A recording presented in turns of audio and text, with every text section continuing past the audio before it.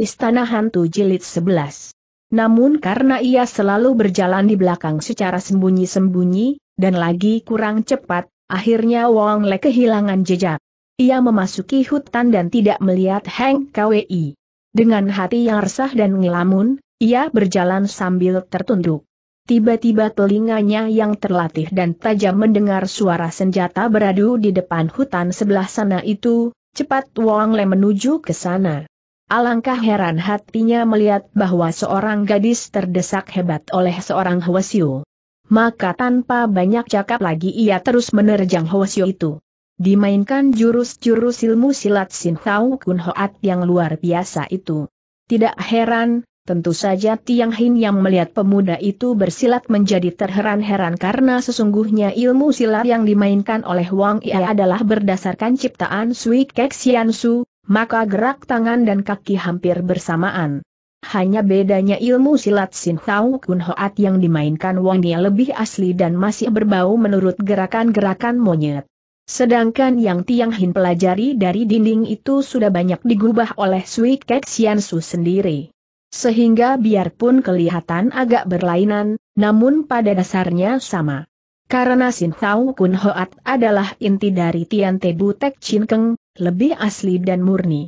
Sebab itu begitu Wong Le bergebrak, dalam beberapa jurus saja Bu Beng Ho yang menjadi kewalahan bukan main. Dan pada jurus yang ke-15, tiba-tiba ia merasa dadanya terasa sakit dan nyeri. Akan tetapi Hwasyo ini menjadi marah dan penasaran, tiba-tiba ia mengirimkan pukulan kuat ke arah punggung pemuda itu, dan cepat toyanya menyambar ke arah Hwelan. Sudah barang tentu gadis ini berkelit cepat menghindarkan diri dari sabetan toya dan balas mengirimkan totokan sulingnya ke arah punggung Hwasyo itu. Akan tetapi gadis ini menjadi kecele, karena ternyata punggung Hwasyo itu demikian kebal dan tidak terluka atau terpengaruh oleh totokan si gadis.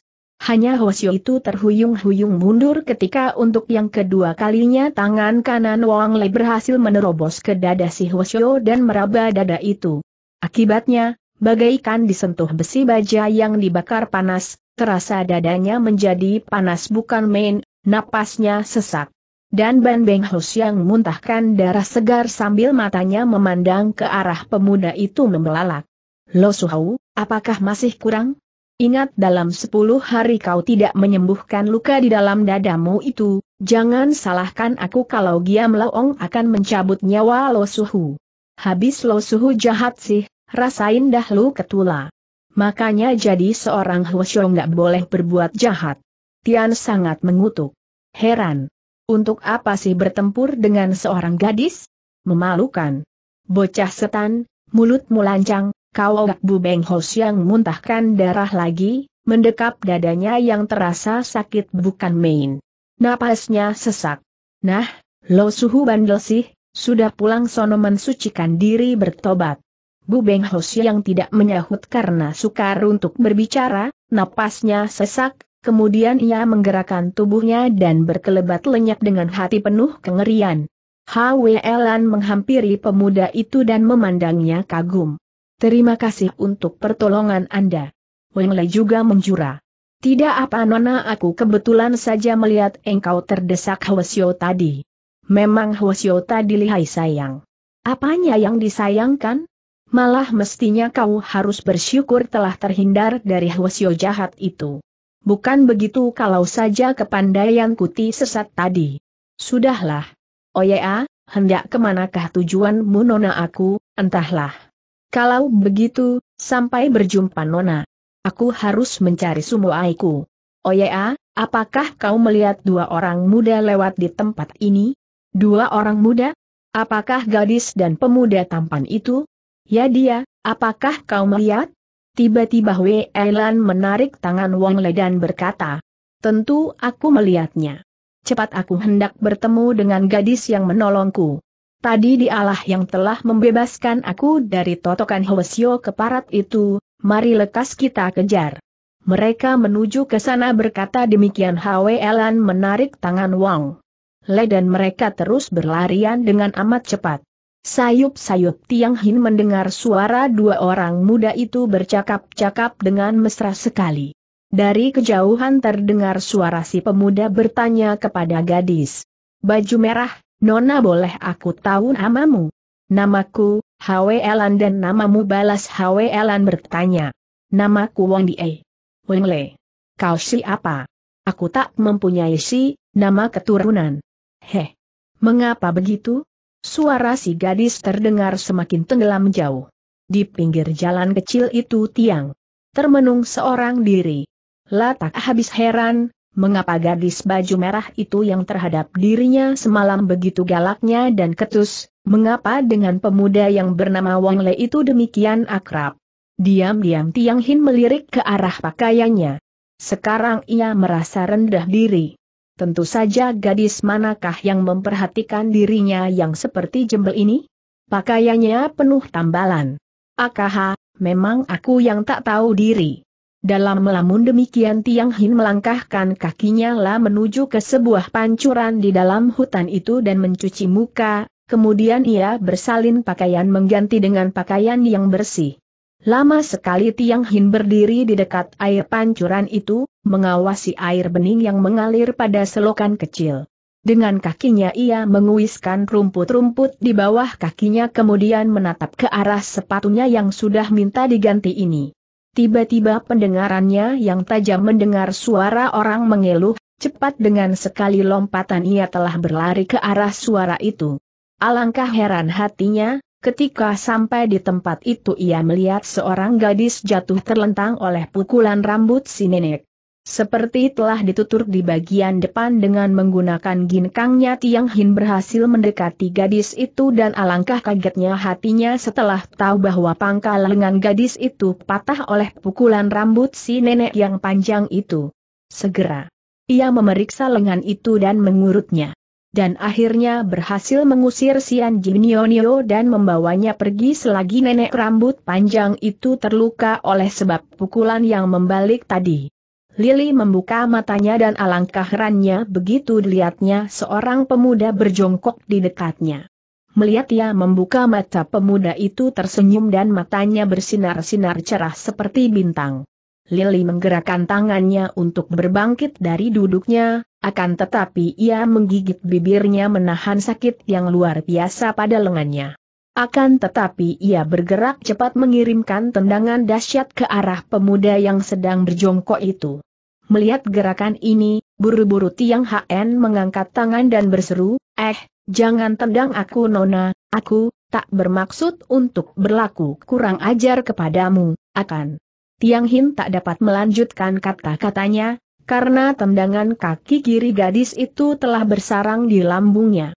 Karena tak keburu lagi mengelak tendangan gadis ini, ia segera mengerahkan hawasin keng di bagian lambungnya dan membiarkan kaki kiri gadis itu menghantam lambungnya. Des! Tubuh Tiang Hin terlempar beberapa meter jauhnya oleh tendangan gadis itu. Tiang Hin terjerembab hampir masuk ke dekat solokan yang berair itu, kalau tidak buru-buru ia bergulingan dan rebah untuk beberapa lama di tanah yang berumput itu, ia merasakan yang hebat menyerang jantungnya. Untung ia tadi dapat menyalurkan hawa sinkangnya, kalau tidak tentu akan hancur tubuhnya terkena tendangan gadis yang kelibatannya juga galak ini. Pelan-pelan ia berbangkit bangun dan berdiri menjura ke arah gadis itu. Nona harap jangan salah mengerti, aku tadinya hanya ingin menolongmu saja. Kau, kau terluka di lenganmu yang patah itu, ahaha, kau telah salah sangka nona. Kalau kau memang tidak senang akan pertolonganku yang bodoh ini, biarlah aku pergi saja berkata demikian Tiang Hin hendak melangkahkan kakinya meninggalkan gadis itu. Lili cepat memanggilnya, eh, tunggu dulu. Tiang Hin menoleh. Apa kau masih kurang puas menendangku, apa kau tidak memaafkanku? Biarlah lain kali aku tak mau usil tangan lagi. Bukan begitu, sebetulnya aku, aku menyesal sekali menendangmu tadi. Kukira kau, Lili tidak melanjutkan kata-katanya. Ia menjadi heran bukan main. Pemuda ini hebat juga, pikirnya, masa ia dapat menahan tendanganku barusan, padahal sungguh tak masuk di akal. Atau apakah tenagaku sudah habis, sehingga tendangannya tadi tidak melukai pemuda yang kelihatannya sederhana sekali itu. Ia sama sekali tidak menyangka bahwa orang muda yang kelihatannya sederhana mempunyai kepandaian tinggi. Wajah Lili menjadi merah sekali. Ia merasa sudah kesalahan tangan memukul pemuda ini, tadinya ia menyangka pemuda ini hendak mengganggunya, maka segera ia berkata, Maaf, aku, aku telah salah duga kepadamu, eh dirnana nenek rambut panjang bangsak itu. Siapa maksudmu nona? Nenek yang rambutnya panjang, apa kau melihat dia? Dia itu orang-orang istana hantu yang jahat, aku harus membasminya sekarang juga. Aduh, lenganku. Lili menggigit bibirnya menahan rasa nyeri pada pangkal lengannya. Istana hantu Tiang Hin berkata perlahan. Ya, dia itu orang istana hantu. Ali, ibuku tertawan oleh kakek tinggi besar dan kakek muka hitam. Aku harus segera menyusul ke sana Lili bergerak hendak bangkit akan tetapi ia merasakan kini lengannya menjadi lumpuh dulu. Berbahaya sekali, kalau sambungan sikumu ini putus tanganmu nanti akan menjadi bengkok jadinya. Diamlah biar aku urut. Eh, kau bisa? Tiang Hin tersenyum dan memandang gadis itu. Kalau kau percaya padaku, aku akan berikhtiar untuk menyembuhkan tulangmu yang patah ini. Heran aku, mengapa kau bisa patah tulang? Apakah kau jatuh dari atas pohon di atas itu? Tanya Tiang Hin menunjuk ke atas. Tolol. Aku tadi bertempur dengan nenek rambut panjang, kaki tangan istana hantu. Nenek rambut panjang yang mana? Tadi cuma dapatkan engkau terkapar di sini dan memeriksa lenganmu yang terluka. Tidak aku melihat nenek itu, siapa dia? Dia nenek siluman bangsat tadi hampir saja membunuhku. Sudah kalau kau tidak lihat tidak apa-apa. Eh, benar kau bisa menyembuhkan luka di lenganku ini. Bisa tidaknya, belum pasti. Tapi biasanya sih kalau patah tulang saja aku belum pernah belajar dari ibu. Dulu, waktu aku panjat-panjat pohon pernah tulang kakiku patah dan remuk karena terjatuh dari atas, kemudian ibu menyembuhkannya sekarang lihat nggak sakit lagi malahan bisa sembuh seperti semula. Hebat. Siapa ibumu? Ibuku sudah meninggal, Nona. Sudahlah, mau nggak nih kuobati? Kalau mau bilang cepat-cepat, aku mau cari obatnya, kalau nggak percaya ya sudahlah. Bukan begitu. Hanya, hayo cepatlah obati lenganku ini. Aku harus cepat-cepat ke istana hantu menolong ibu yang tertawan. Eh, kau ini baik benar kepadaku. Namamu siapa sih? Tiang Hin tersenyum. Gadis ini rupanya lebih baik daripada gadis yang semalam. Gadis ini tidak ketus hanya nampaknya kurang percaya orang. Dan keras hati. Akan tetapi cantik dan matu itu, alangkah indahnya. Tanpa disadarinya Tiang Hin menjadi terpesona oleh matu yang redup dan menghanyutkan itu, bibir yang basah merah itu alangkah sedapnya dipandang. Eh eh eh kok ngeliatin saja. Siapa dang narnamenu? Keberatannya, namanya ku ketahui. Kalau kau enggak sudi memberitahukan nama, sudah aku tak perlu pertolonganmu. Nanti dulu Nona jangan marah. Tangan panggil aku Nona, namaku Lilihem, Lili Narnamu bagus ya. Hu, kau sudah tahu namaku, sekarang apa belum mau memberitahukan namamu?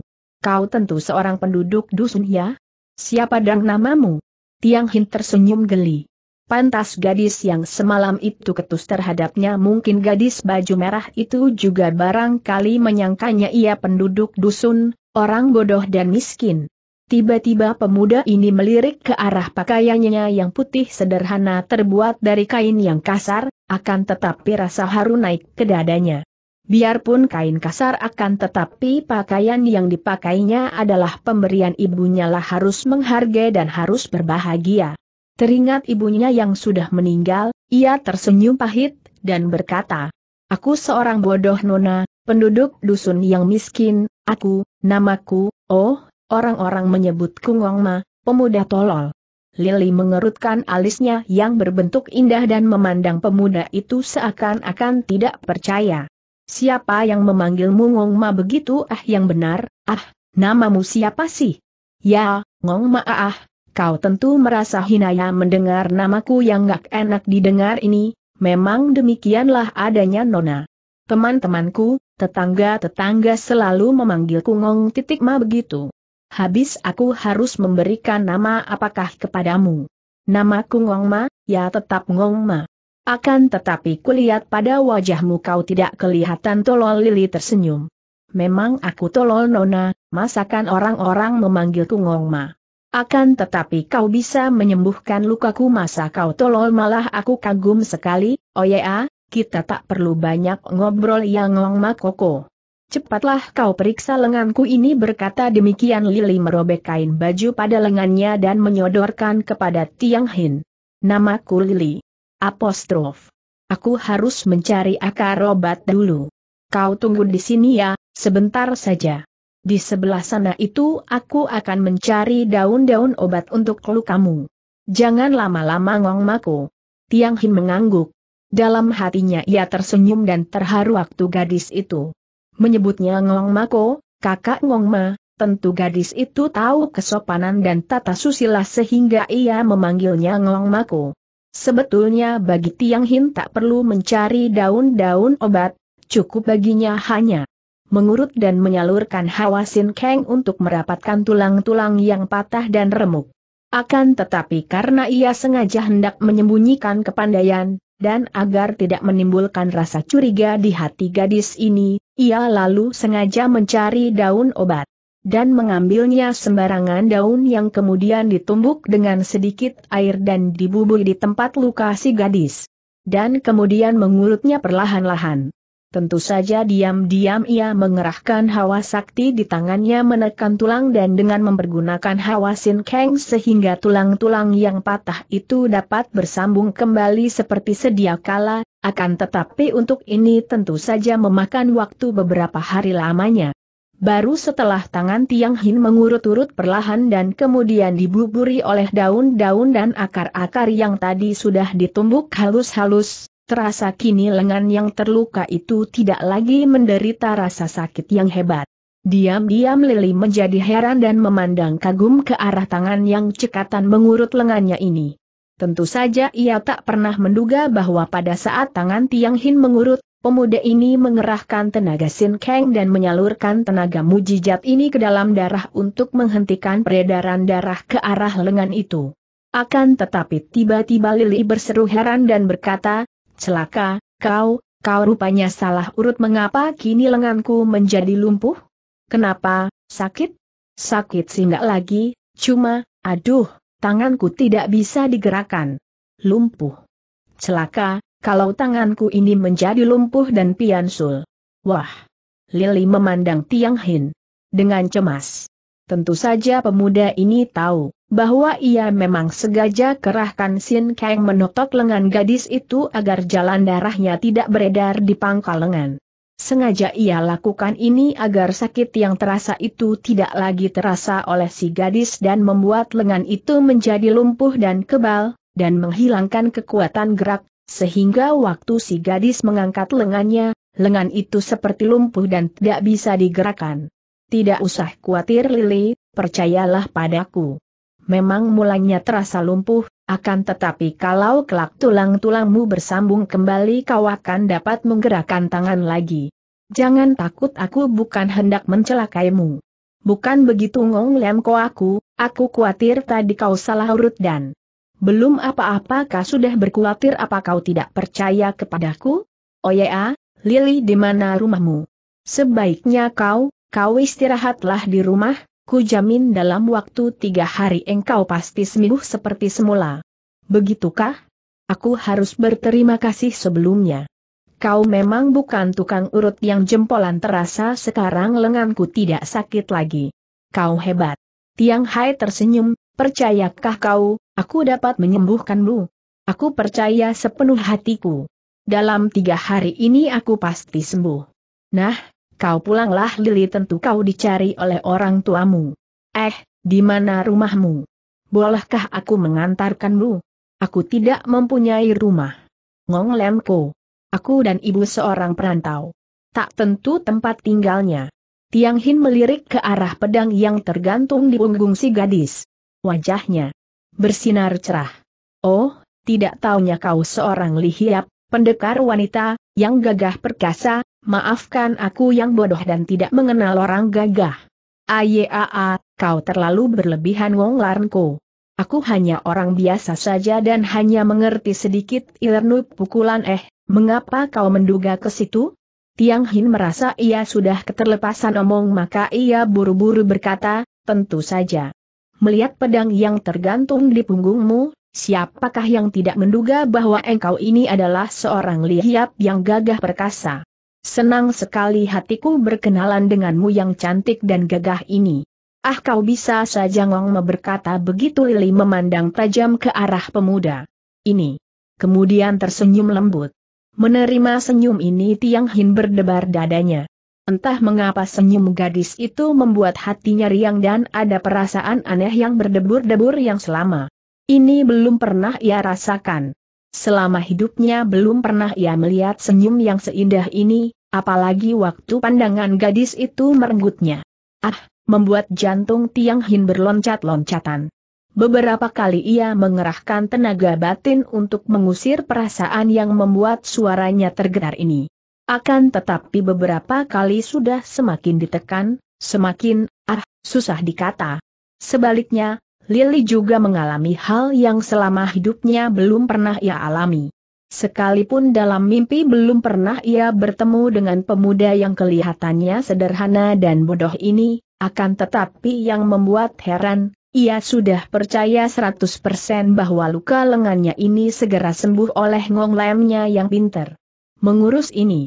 Ada dua jam mereka di dalam hutan itu, tiba-tiba Tiang Hin berkata, Nona, kalau kau hendak sembuh benar-benar lukamu itu, sebaiknya kau istirahatlah di dusun sebelah sana itu. Aku kenal baik dengan kepala kampung dan ia tentu akan bersedia menerimamu untuk beberapa lama di sana. Tidak usah, Ngong Mako, aku akan bermalam di sini saja dan besok pagi-pagi aku harus ke istana hantu. Eh, apakah kau pernah tahu di mana istana hantu itu? Tahu sih tidak Lili aku cuma pernah mendengar saja. Kabarnya istana hantu itu, ihaha, serem, banyak stannya. Masa?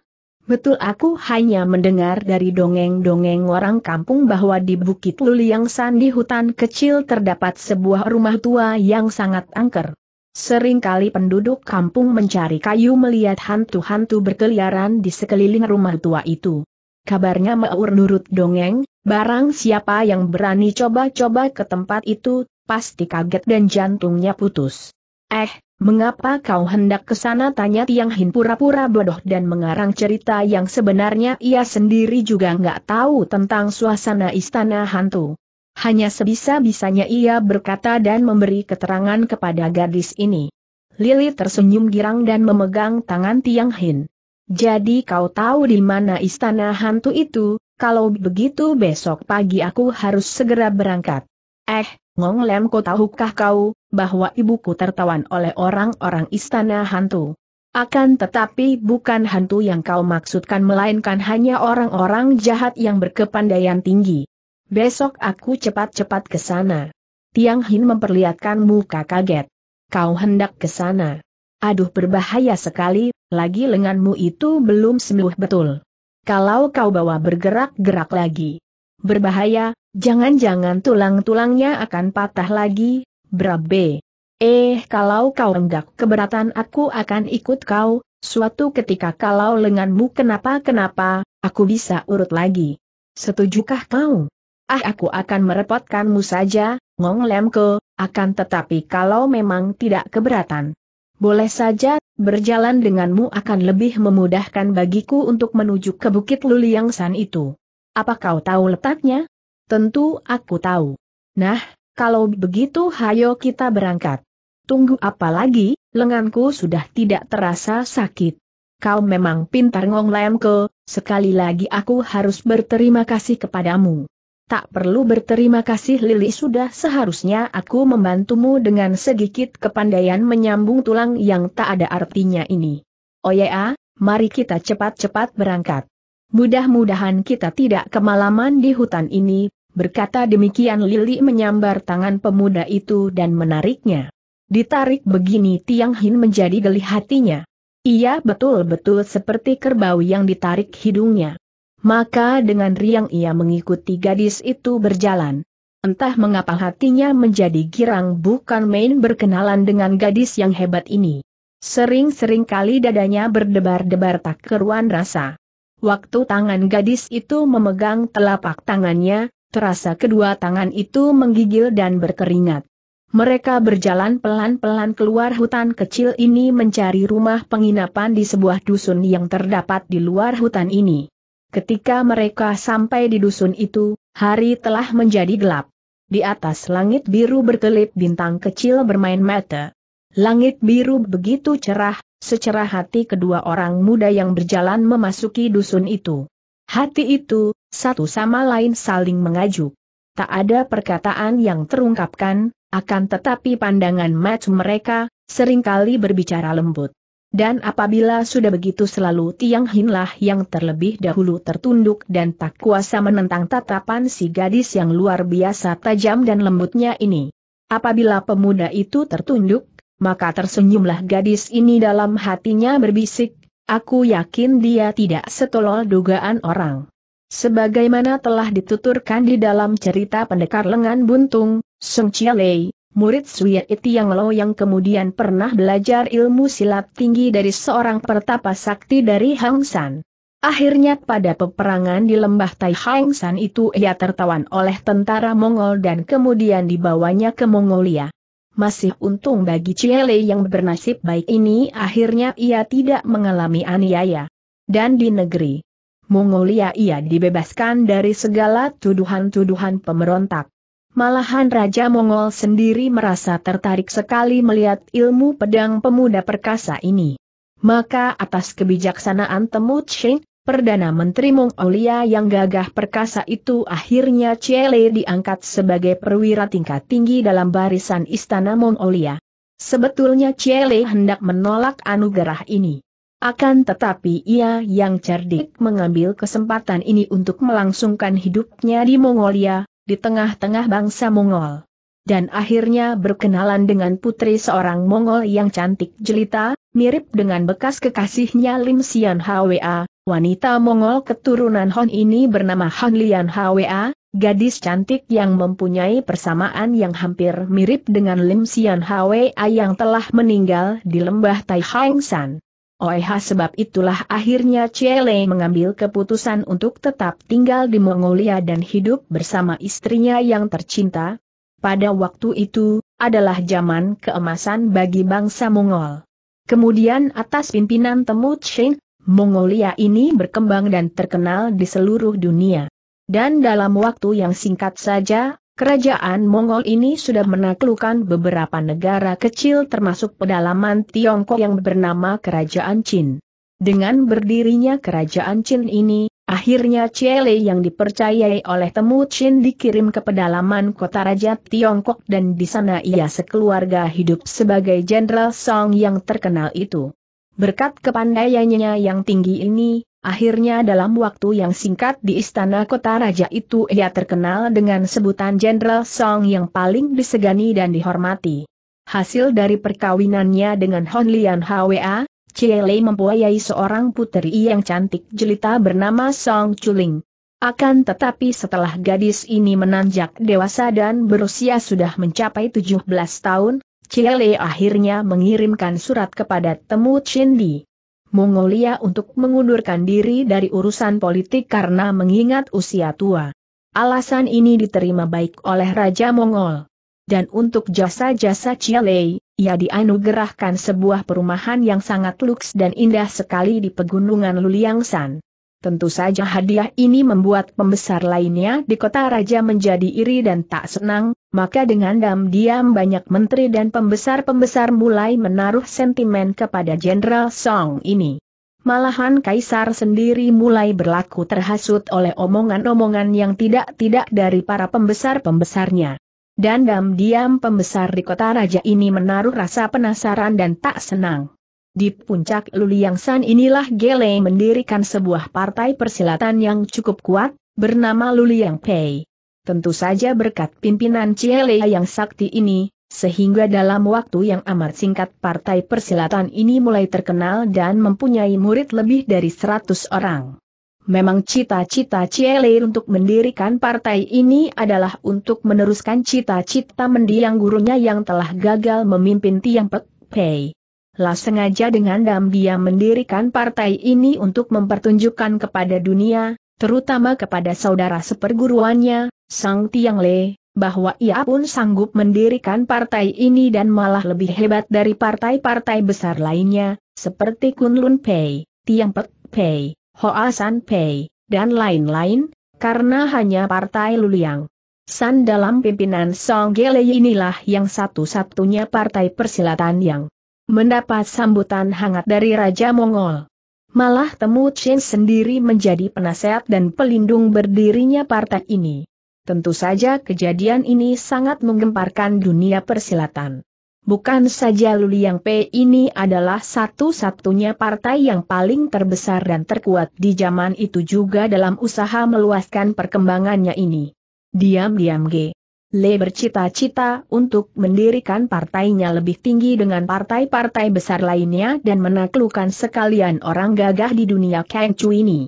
Kemudian apabila partai sudah kuat, ia akan menghancurkan kota raja yang berkeadaan buruk dan lemah pada masa itu.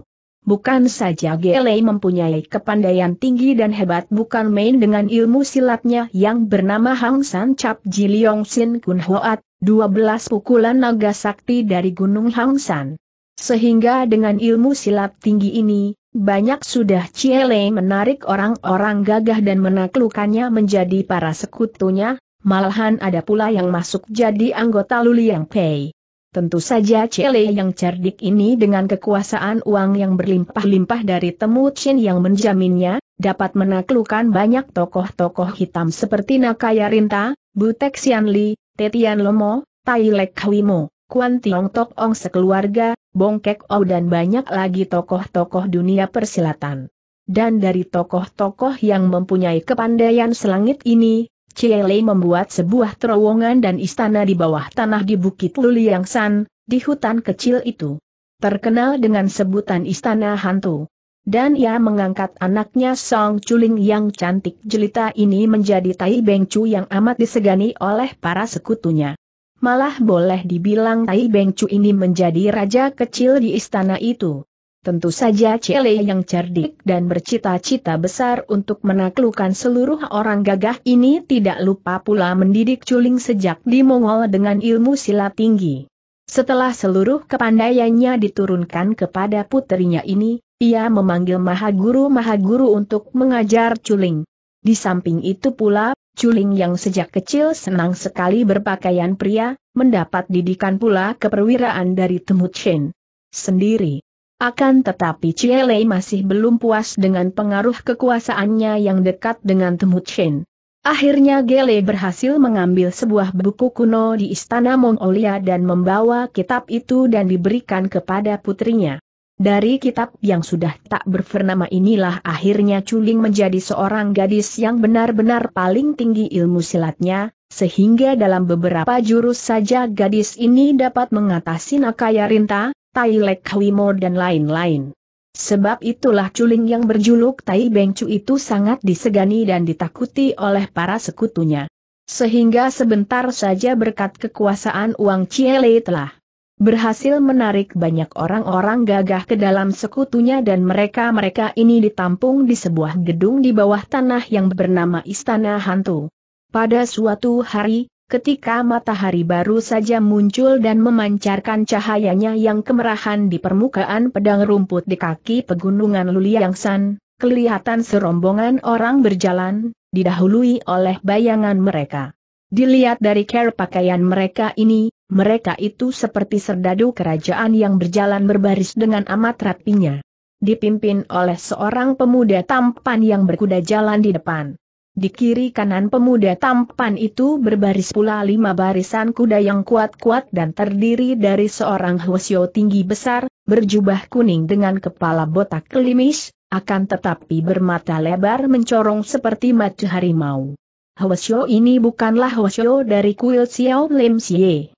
Karena orang pertapa berjubah kuning ini adalah asli suku bangsa Mongol, bernama Nakurdu, pertapa dari Himalaya yang mempunyai kepandaian silat yang tinggi.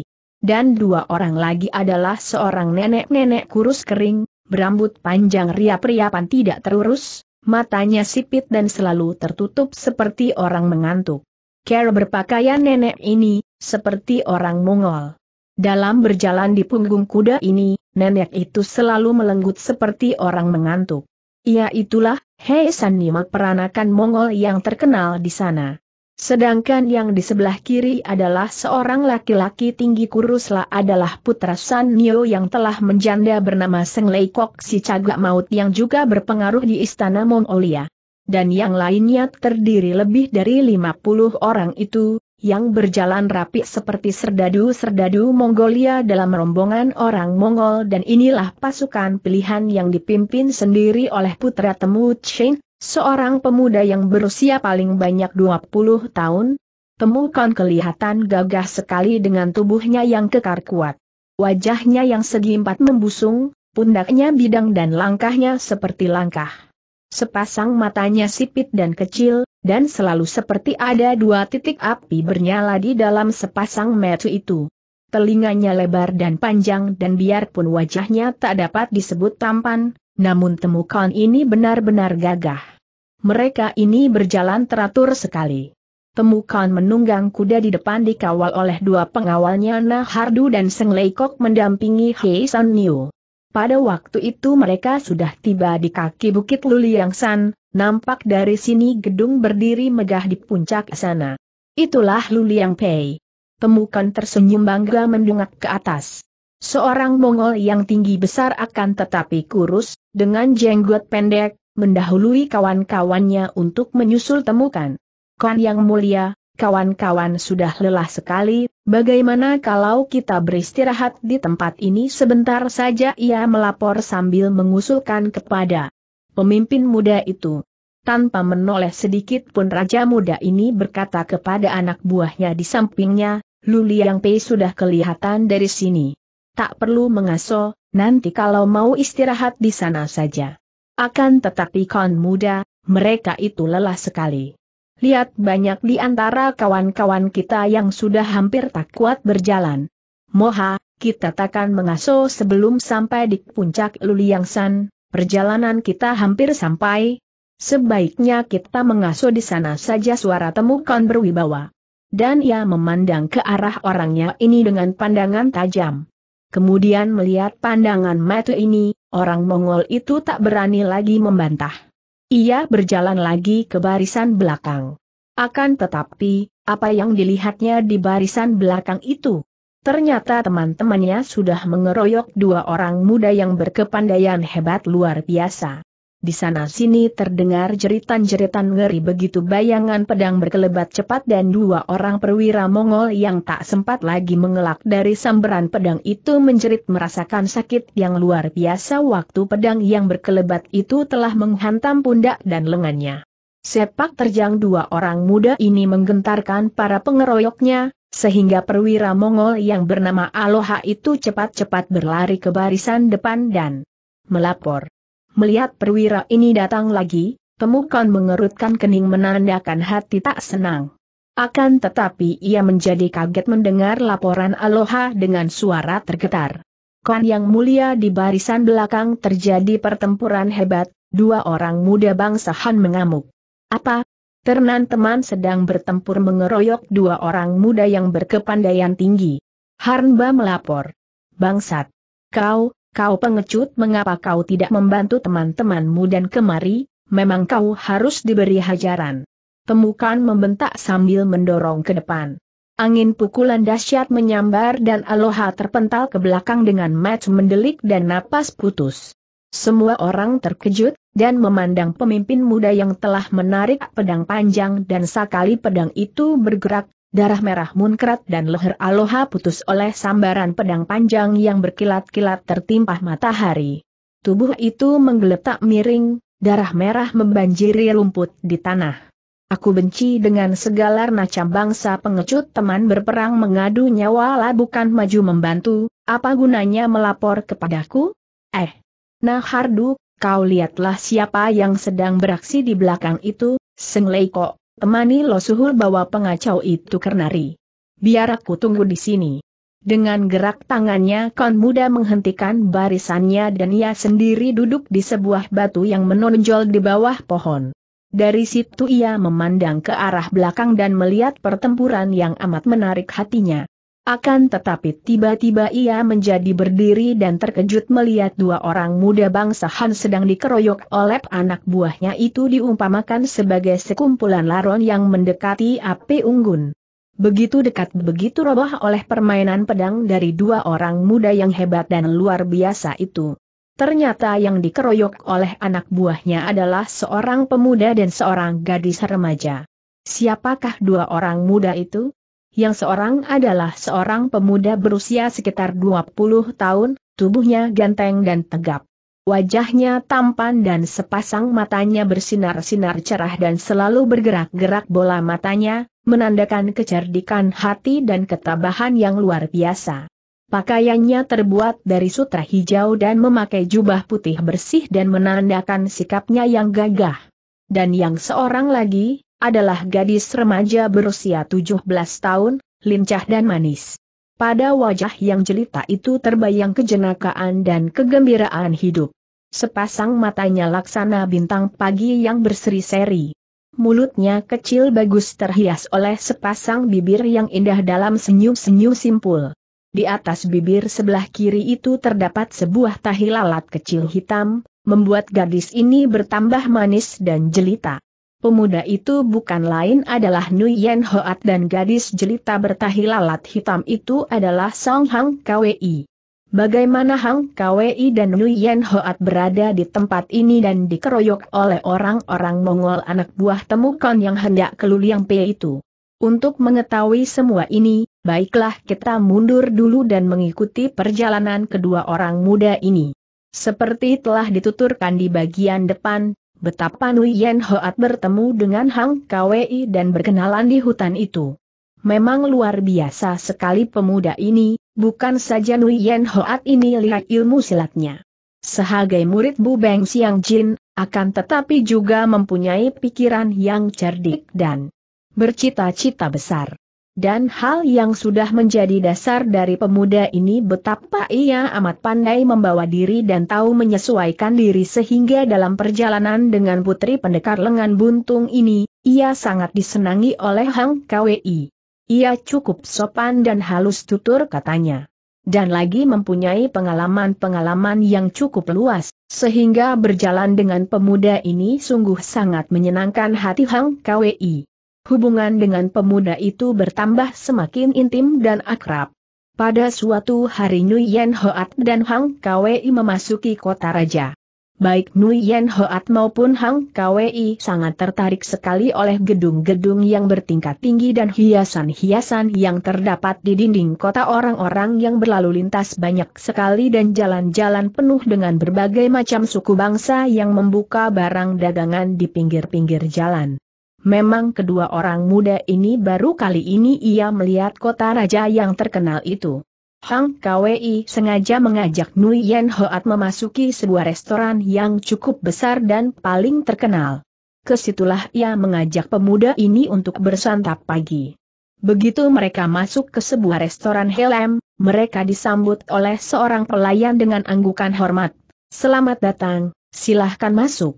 Pelayan itu mengantarkan Nguyen Hoat dan Hang Kwei ke bangku yang kosong di sudut kiri dekat jendela. Hang Kwei mengambil tempat duduk dan membaca daftar makanan yang tertulis rapih di atas sebuah dinding. Lama ia mencari-cari makanan yang dianggap enak, kemudian ia memesan, masakah kami dua porsi cah udang, babi panggang dan dua mangkok nasi putih minumannya? Arak Hang Chiu Nuyen Hoat menyaut. Hang Kwei menoleh. Eh kau doyan arak nuyen tuaku. Doyan singgak, cuma aku kepingin ngerasain arak Hang Chiu yang terkenal itu Hang Kwei tersenyum. Bau masakan dari ruang dalam sangat menyengat hidungnya sehingga membuat perut Hang Kwei bertambah keroncongan dan buru-buru ia memanggil pelayan untuk dibuatkan secepatnya. Tidak lama kemudian, masakan yang dipesan sudah terhidang di meja. Sambil memain-mainkan hidungnya mencium bau yang sedap itu, Hang Kwei mempersilahkan kepada Nuyen Hoat. Hayo tuaku, mengapa dilihatin saja? Sikat Nuyen Hoa tersenyum dan menegak secawan arak. Wah, ini hari kau yang menjadi cukong ya Hang Kwe Imoai, baiklah hayo kita sikat. Kau ini bisa saja tuako, siapa yang menjadi cukong? Duit kita cuma lima cel cukup untuk bayar masakan ini. Besok gantian kau yang mesti mentraktirku, oke i. Hahaha. Kau si curang hang kawe imoai, duitku juga tinggal dua cel lagi.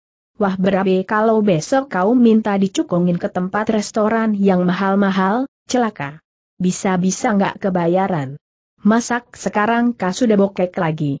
Bukankah baru tiga hari yang lalu kita boleh pinjam di rumah Ang Wang Wei? Kau ini royal sih. Sudah, sudah. Mari sikat makanan ini, soal lului dan bolui itu urusan nanti saja, yang terpenting sekarang kita harus isi perut. Hang Kwei tak menyahut, ia menyambar sumpit dan menggosokkan dengan kertas lap kemudian sambil melirik ke arah pemuda di depannya itu.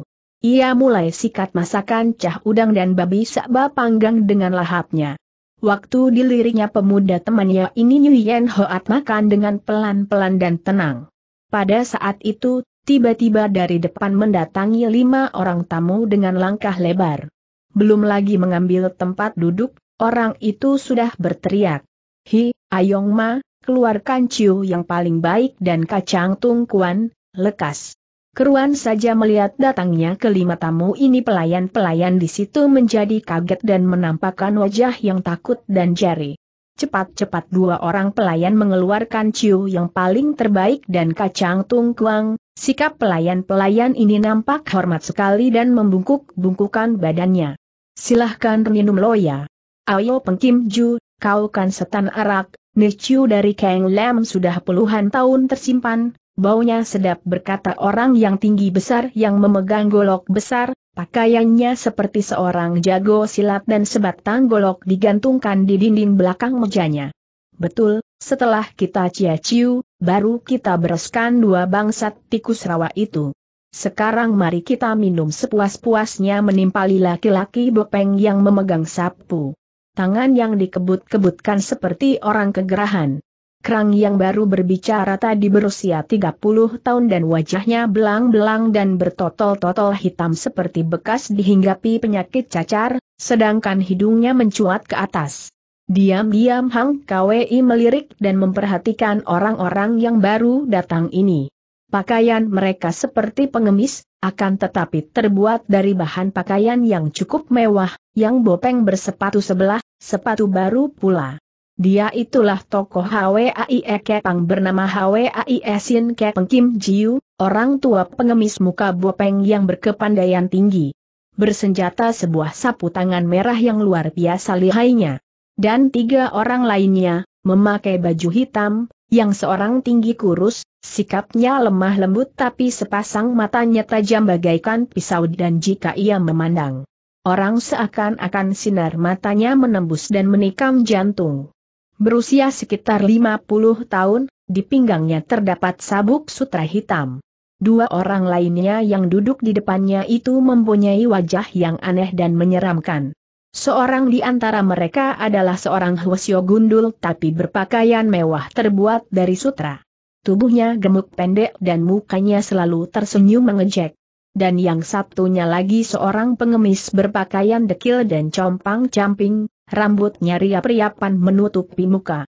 Setelah mereka makan minum dan nampak di meja itu tiga botol cuy sudah habis ditenggak oleh setan-setan arak ini, tiba-tiba orang yang tinggi besar bersenjata golok itu berteriak keras memanggil si pelayan. Hitung, minuman ini, masukkan ke dalam rekeningku. Habis bulan baru bicarakan semuanya padaku mengerti kata orang tinggi besar itu dengan sikap galak. Kemudian, berlalu bersama-sama dengan kawan-kawannya itu. Keruan saja si pelayan jadi menggerutu, sialan bisanya hutang melulu. Hutang sudah bertumpuk kapan mau bayarnya. Hang KWI yang mendengar gerutuan si pelayan ini tersenyum dan berkata, eh, Lopek apakah rumah makan di sini boleh dihutang? Tentu saja tidak boleh, akan tetapi orang-orang tadi sungguh berengsek. Hutang-hutang, tapi bayarnya kagak. Mentang-mentang tukang pukul Bong Taijin. Siapa mereka tadi lopek? Nuyen Hoat yang tertarik lantas bertanya sambil berdiri dan mengeluarkan beberapa cel perak. Mereka itu bajingan-bajangan sialan, Kongcu, pemegoran kota raja yang selalu berbuat kejahatan. Eh, kabarnya mereka hendak mencegah perjalanan Lim Wang Wei ke Heinam, jangan-jangan. Siapa Lim Wang Wei? Orang tua Shilim itu baik sekali Kongcu akan tetapi entah mengapa, rupanya ia tidak betah ke Henam sahut si pelayan itu. Jadi apa hubungannya dengan lima orang tadi tanya Hang KWI. Tentu mereka akan mencegah perjalanan orang Shilim itu dan merampok. Apalagi? Ah, merampok? Akan tetapi si pelayan tidak lagi menyaut. Ia buru-buru masuk ke dalam. Ketika dilihatnya majikannya mendelik kepadanya dan menegur. Sengkau banyak mulut. Hati-hatilah, kalau kedengaran sama orang-orang Bong Tai Jen lehermu bisa putus. Hang KWI melirik kemudian menarik tangan temannya dan keluar dari rumah. Makan itu. Tuaku, kita harus kejar Lina kunyuk bajingan itu berkata Hang KWI sesampainya di luar kota raja. Betul Hang KWI Moai, Aku juga curiga kepada orang-orang itu. Hayo cepat kita berlari ke selatan, perjalanan mereka ke Henam tentu mengambil jalan arah selatan. Kita harus basmi kunyuk-kunyuk tadi. Menyebalkan benar, kata Hang KWI sambil meloncat jauh dan berlari cepat mempergunakan ginkangnya. Akan tetapi alangkah herannya kedua orang muda ini, karena begitu berlari lebih tiga li, dilihatnya di sebelah depan terjadi pertempuran yang hebat. Cepat Hang KWI mencelat dan sekali loncatan saja ia sudah tiba di tempat pertempuran itu. Dilihatnya dua orang setengah tua dikeroyok oleh lima orang yang tadi dilihatnya di rumah makan. Akan tetapi sungguh di luar dugaannya, karena dua orang ini nampak lihai sekali permainan pedangnya. Laki-laki setengah tua itu, biarpun nampak seperti orang lemah dan berpakaian sastrawan, namun permainan pedangnya sangat hebat dan ganas. Tubuhnya lincah sekali berkelebat laksana Garuda terbang menyambar mangsanya. Sedangkan perempuan yang menggendong anak kecil itu, juga lihai sekali. Permainan pedangnya juga hebat. Wanita setengah tua ini cantik sekali, menggendong seorang anak perempuan yang masih kecil di poodongannya. Nampak anak kecil itu menjerit-jerit dalam pondongan ibunya. Ibu, jangan belantem. Ingin akut, atiai. Ibu, uhuhu. Anak kecil itu menangis menutupi matanya. Tubuhnya yang kecil tergoncang oleh gerakan, dari ibunya yang mencelat ke sana ke sini menghindari datangnya serangan senjata-senjata lawan yang lihai ini. Ibu itu dikeroyok oleh seorang Hwasyo dan si pengemis muka bopeng. Biarpun dua orang lawannya ini nampaknya hebat dan sangat ganas, namun dengan lincahnya. Wanita setengah tua ini dapat menghindarkan diri dari serangan-serangan senjata. Lawan. Meiing, kau diamlah. Ibu akan hancurkan bangsat-bangsat ini. Kau diam jangan menangis, kata ibu itu kepada anaknya sambil mencelat tinggi menghindarkan serangan sabetan toya di tangan si Hwasyo. Inging, aku takut, Renarna, aku. Kalau takut, jangan buka mata diam-diam saja meremin. Diamlah. Mama akan hancurkan orang-orang ini dan Hwasyo sesat ini. Kau berpegangan keras-keras awas jangan terpelanting, berkata demikian tubuh ibu itu dimiringkan ke kiri. Dan pada waktu sodokan Toya lewat di sampingnya, tapi tangan kiri wanita tua itu dengan amat cepatnya berkelebat dan langsung menyodok perut si Hwasyo gemuk pendek itu sehingga mengeluarkan suara duk dua kali. Dan keruan saja Hwasyo gendut pendek itu meringis-ringis menahan mulas pada perutnya. Pada saat itulah sapu tangan menyambar di muka ibu itu, Cepat ibu itu mengelak ke kiri dan kanan tetapi tiba-tiba ia merasakan kepalanya pening bukan main. Ternyata dari sambaran sapu tangan merah itu berhamburan bubuk merah yang memabokkan. Pada saat itulah si pengemis muka Bopeng Pengkim Jiu tertawa bergelak-gelak dan tangan kirinya diputar-putar siap hendak melancarkan serangan maut ke arah si wanita tua yang terhuyung-huyung ke belakang. Biao Weng, kalian suami istri keras kepala tidak tunduk akan kekuasaan Tai Beng Chu yang jaya maka aku harus mencabut nyawamu. Wes wes wes, lengan si pengemis muka bopeng berputar-putar mengeluarkan angin pukulan yang dahsyat. Pengemis ini tersenyum mengejek dan melancarkan pukulan maut di atas kepala wanita tua yang dipanggilnya Biao Weng tadi. Akan tetapi belum lagi pukulan itu tepat mengenai sasarannya, tiba-tiba berkelebat bayangan dan terdengar suara keras. Duk, tiba-tiba si pengemis muka bopeng terpental ke belakang dan memegangi lengannya yang menjadi hangus oleh tangkisan tangan Hang KWI yang telah mencelat menangkis pukulan pengemis muka bopeng itu. Pengkim Jiu mendelik dan menggereng membentak marah, setan cilik siapa kau? Sudah tahu aku setan cilik yang hendak melenyapkan setan besar mengapa hendak bertanya lagi? Keparat kau mampuslah. Kau yang harus mampus maki Hang KWI sambil cepat menggeserkan kakinya mengikuti jurus langkah ajaib menghindarkan serangan sapu tangan merah yang berkelebat bagaikan ular merah yang hidup menyambar-nyambar. Pada saat itu, si Hwasyo gemuk pendek yang tadi terpental sudah menyerang wanita setengah tua yang menggendong anak.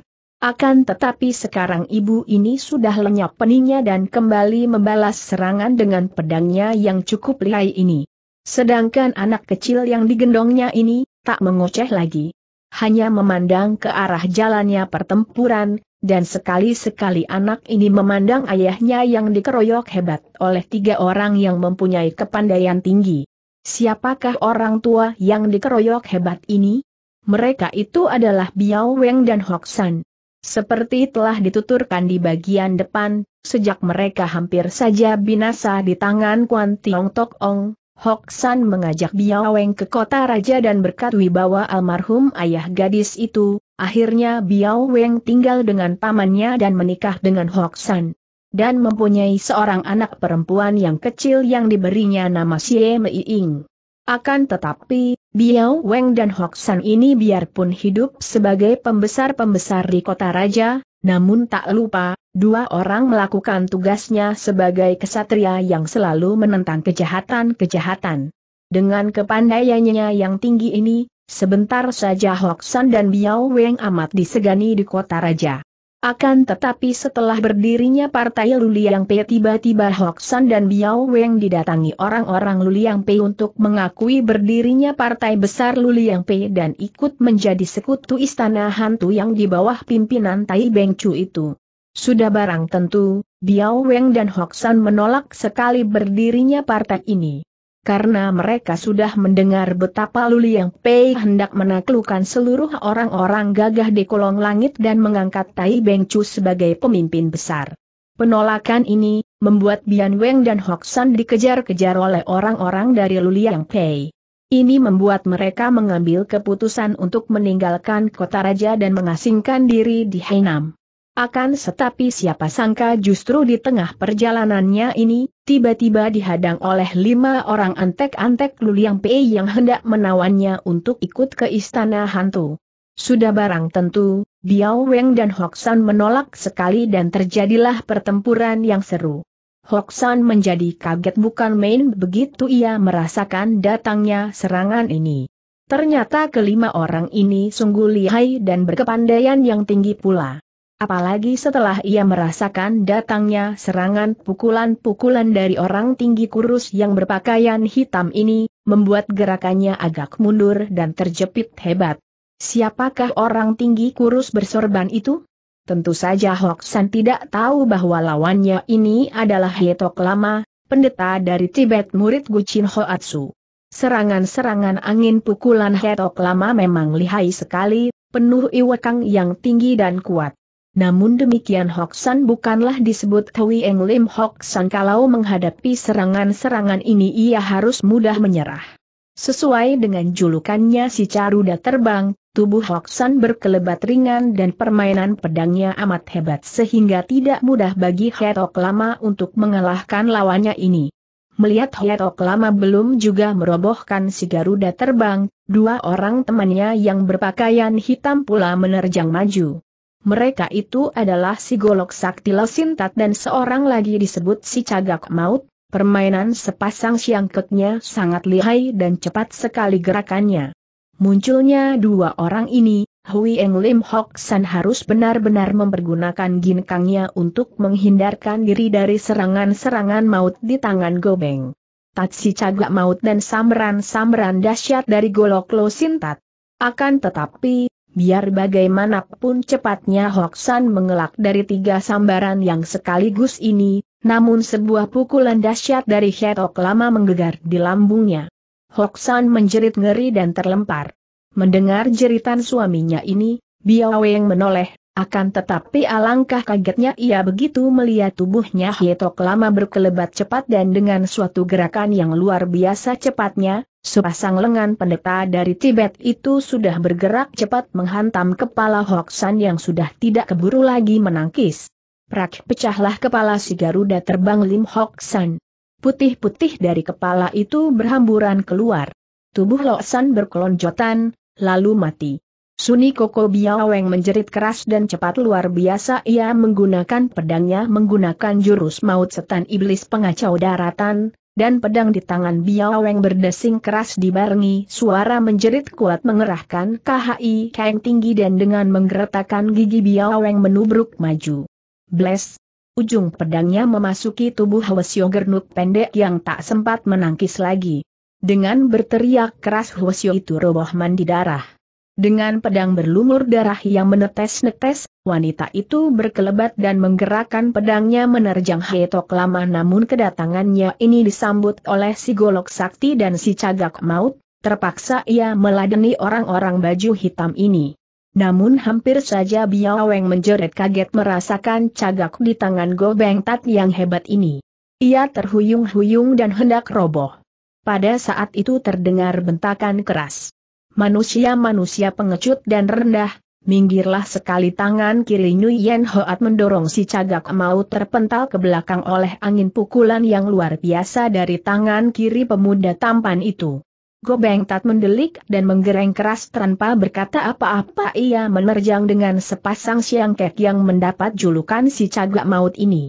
Terang kering, Nuyen Hoat dengan gerakan kilat sudah mengeluarkan pedangnya dan membabat sepasang cagak yang bergerak menusuk dari samping kanan dan kiri. Gobeng Tat terkejut bukan main merasa tangannya nyeri akibat tangkisan pedang di tangan pemuda tampan ini. Namun saking marahnya ia menggunakan kaki kanannya dengan jurus menendang bertubi-tubi. Akan tetapi ia sekarang menghadapi Nuyen Hoat, pemuda gemblengan pertapa sakti Bu Beng Jin dari puncak harimau di pegunungan Tang Lamaka dalam beberapa jurus saja pemuda itu bergebrak, Gosin Tat memekik keras dan melemparkan cagaknya merasa lengannya sakit bukan main terserempet pedang di tangan pemuda. Belum lagi hilang kagetnya, Tiba-tiba sebuah dorongan tangan kiri pemuda itu bergebrak ke depan dan tahu-tahu bagaikan layangan putus tubuh Godeng Tat dan Lesin Tat telah terpental ke belakang tak dapat bangun lagi karena sepasang tulang kering di kakinya telah terkena tendangan yang kuat dari kaki pemuda itu. Tulang kering itu remuk dan sukar untuk berdiri lagi. Melihat datangnya pemuda yang luar biasa ini Shetok lama menjadi kaget setengah mati apalagi melihat bahwa temannya si pengemis muka hitam Pengkim Jiu telah terluka pula oleh gebrakan Hang KWI. Keruan saja pertapa ini meloncat pergi dan lari diikuti oleh teman-temannya yang lari terpincang-pincang. Hang KWI mendekati nyonya itu dan memegang pundak nyonya yang sedang menangis itu. Toanio, yang sudah, sudahlah, suamimu meninggal selaku orang gagah tak perlu bersedih lagi. Biao Weng menoleh dan mengangkat kepalanya. Sepasang matanya basah. Lihiap, terirna kasih atas pertolonganmu. Tidak apa Toanio. Sudah seharusnya orang hidup saling menolong. Eh, mengapa kalian dikeroyok oleh bajingan tadi tanya Nuyen Hoat. Biao Weng mengepalkan tinjunya. Ini gara-gara berdirinya istana hantu. Ha istana hantu Hang KWI tertarik. Ya, Istana Hantu menyuruh Karnir mengakui pengangkatan Tai Beng Chu. Kami memang menolak, dan orang-orang Istana Hantu dari Luliang P memusuhi kami. Yang lima orang tadi itu, adalah orang-orang sewaan Tai Beng Chu untuk menawan kami Biaweng menangis teringat kepada suaminya. Luliang Pei hendak menaklukkan seluruh orang-orang gagah di permukaan daratan Tiongkok ini. Keparat. Alangkah sombongnya. Luliang Pei itu di mana Toanio, biar ku beri hajaran. Tentu saja di puncak Gunung Luliang San. Partai ini adalah sokongan temu Chin Keparat yang mendukung berdirinya Luliang Pei. Hang Kwei menoleh kepada Nguyen Hoat dan menarik lengan pemuda itu. Kalau begitu mari kita ke Luliang Santuako, hendak ku beri hajaran orang-orang Luliang P yang sombong itu kata Hang KWI kemudian berkelebat lenyap diikuti oleh bayangan Nguyen Hoat yang mengejar dari belakang. Demikianlah seperti apa yang dituturkan terlebih dahulu di bagian depan, Nguyen Hoat dan Hang KWI mengadakan perjalanan cepat ke Luliang San. Tidak sulit untuk mengadakan perjalanan ke sana, karena pegunungan Luliangsan yang tinggi dan terkenal itu mudah saja dituju oleh kedua orang muda ini. Berhari-hari, Hang Kwei dan Nguyen Hoat berjalan cepat ke Luliang Pei. Semakin dekat ke pegunungan itu, semakin banyak yang didengarnya tentang partai Luliang Pei yang sudah mulai berkembang dan terkenal itu. Akan tetapi yang membuat sengit dalam hati Hang KWI beberapa partai didukung oleh orang-orang Mongol dan sebagian besar biaya-biaya yang besar dan kuat dijamin oleh Temut Shin. Tentu saja Hang KWI tidak simpati akan partai persilatan yang besar ini, akan tetapi membawa kuasa bagi bangsa Mongol. Maka begitu mereka sampai di kaki Bukit Luliang Pei, mereka bertemu dengan barisan orang-orang Mongol. Tentu saja melihat dua orang muda yang membawa-bawa pedang ini hendak mendaki Luliang Pei. Salah seorang bangsa Mongol yang tinggi tegap itu bertanya dengan keren.